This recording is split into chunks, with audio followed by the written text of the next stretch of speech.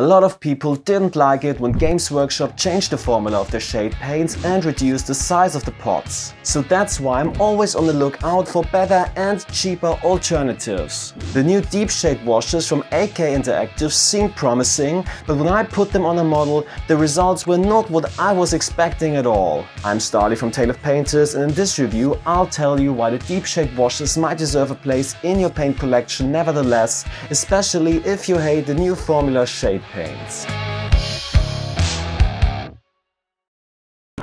The Spanish scale modeling company AK Interactive introduced its new deep shade range in July 2023. These acrylic-based washes come in big 30ml pots and are tailored to the needs of tabletop painters. There are nine colors, featuring various shades of brown and primary and secondary colors, as well as a transparent deep shade medium for thinning. So far, the quality of AK Interactive products has never disappointed me, which is why I have high expectations for the deep shades. But before I test the new washes, I must briefly mention that AK has sparked some shitstorms in the past. However, my channel is about paints and not drama, so you'll need to google that yourself if you feel it might be a concern for you. Back to the washes. The new formula of Citadel Shade is significantly thinner than their old version, which didn't sit well with many people. Therefore, I was hoping for a stronger tint with the deep shades. Whether AK's washes make a good replacement for the old Citadel shades, we'll find out later,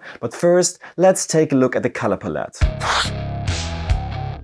The first big surprise comes when you take a look at the colors. I have to admit, when I saw the colors online in the product images, I was expecting the same old hues found in most other miniature paint ranges like Citadel or the Army Painter. But nope. As usually, I painted all washes over white prime plastic card and photographed them professionally under neutral 5500K light. And here are all 9 colors. Notice something? Carmine Dawn is much brighter and more magenta toned compared to Carroburg Crimson. Invocation Purple is quite close, yet slightly more desaturated. Blue Moon is much lighter than Drakenhof Nightshade, it's more of a blue-grey, like Citadel's Fenris Grey turned into a wash. And Green Dark is a vibrant blue-green, noticeably brighter than Coelia Green Shade.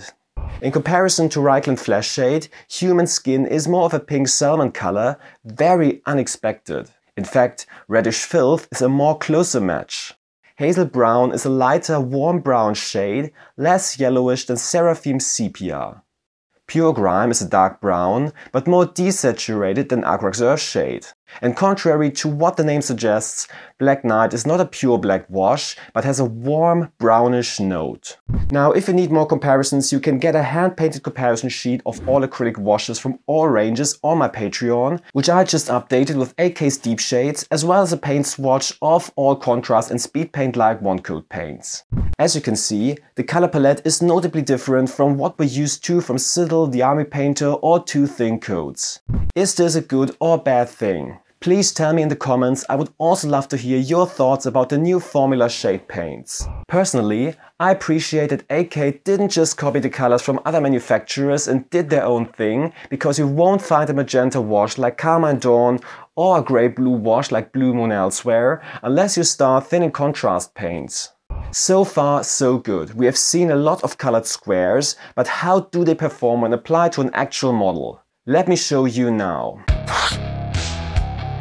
Alright, let's slap those deep shades onto some plastic and find out if they can surpass Citadel shade paints. First, we have to free them from their screw chop prisons. These are the same pots that AK's enamel-based washes and paints have, and I have to admit I'm not a big fan of them. They're just unwieldy and I would really have preferred dropper bottles. But let's apply some deep shade to a model. To do this, I have prepared this beautiful new Termagant sculpt with white primer. See how the wash spreads on the model and finds its way into the recesses almost by itself? I would say the capillary action is pretty good. Here you see me brushing on deep shade on the left side and Citadel's new formula shade paints on the right. Can you see the difference? Yeah, exactly. The Citadel shades are noticeably thinner. Once the colors are dry, it becomes even more apparent. AK's deep shade washes tint the model more strongly, yet the transitions are soft and there is a clear contrast between the bright areas and the darker recesses. Moreover, they are very matte, which I think is a plus, though they can dull metallic paint slightly. And here's the other side of the test model. Check out the finish as Citadel shade paints can be a bit glossy. In a direct comparison, you can see that shade paints mainly darken the recesses and the overall result is lighter. Whether one or the other is better depends on your personal preference and the effect you want to achieve.